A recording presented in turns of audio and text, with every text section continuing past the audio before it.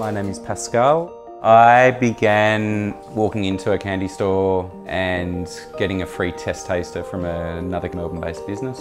The next thing I knew, I was talking to the boss and he asked if I wanted to work for a part-time position. That led into full-time, it led into management, and the next thing I knew, I somewhat knew too much as a, an employee, so I decided to venture off in, in small business and um, create the Red Balloon Candy Artisans back in 2006.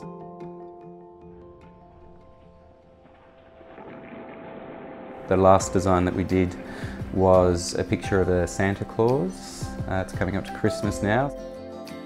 It's just a process of cooking up all your rock candy in, in your ratios of sugar, water, glucose. We boiled that up on uh, big strong burners and got it up to a rock temperature of about 160 degrees. We then added uh, our flavours which have no colour.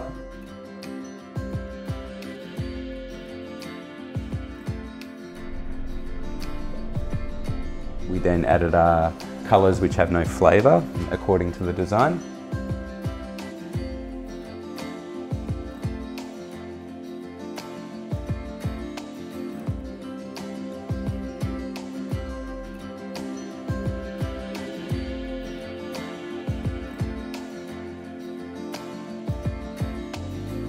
And from there we're just kind of cutting, pulling, stretching, shaping, moulding, all by hand. So there's no machines, it's all 100% handcrafted.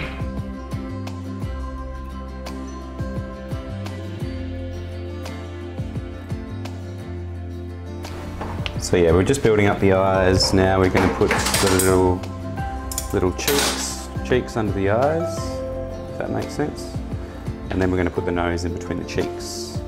And we're going off a design, so we, we have something in front of us where we're looking at, and we're looking at that design, but we're building it three-dimensionally in a three-dimensional form out of the candy, so it's like a jigsaw puzzle.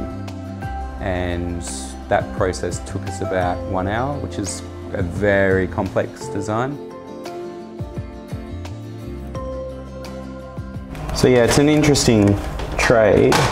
Well, it's not really a trade, it's just um, there's no schooling for this style of product. And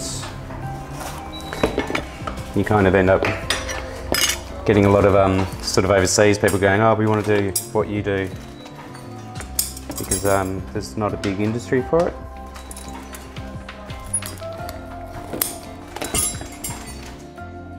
Five, ten years ago, there was nothing it was all just that traditional sort of Blackpool rock, Brighton rock style of business.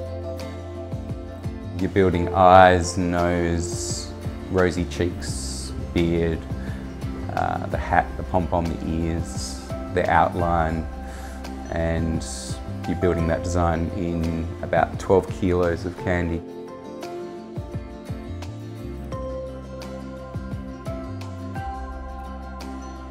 From there you extrude it, it's still warm and soft.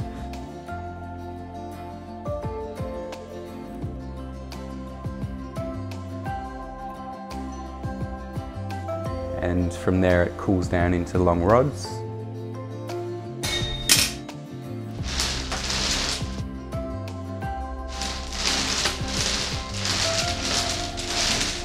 And then from there you chop it into small bite-sized pieces.